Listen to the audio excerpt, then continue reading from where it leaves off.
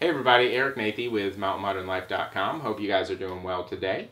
If you're looking to remove the TV from the front of your coach, we hope that this video will help you along in that process.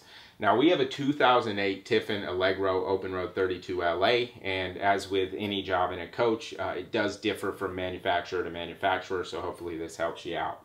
Um, now, over the last couple months, Katie and I have kept in the back of our mind the need to get this TV down.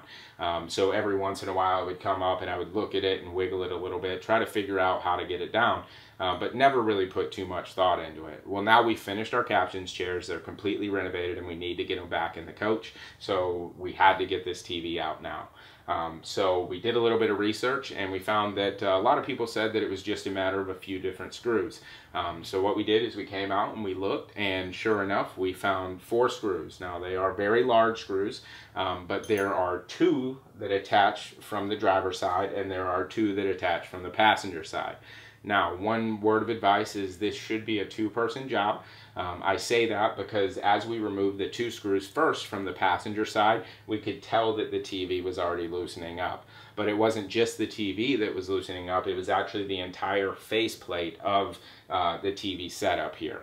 Um, so what we did is while I was removing those and we saw it start to come, Katie came out here and actually held it up and then I moved to the other side and removed the final two screws. Now, your second person, as they're holding the TV, can pretty easily hold the TV in place with the screws released.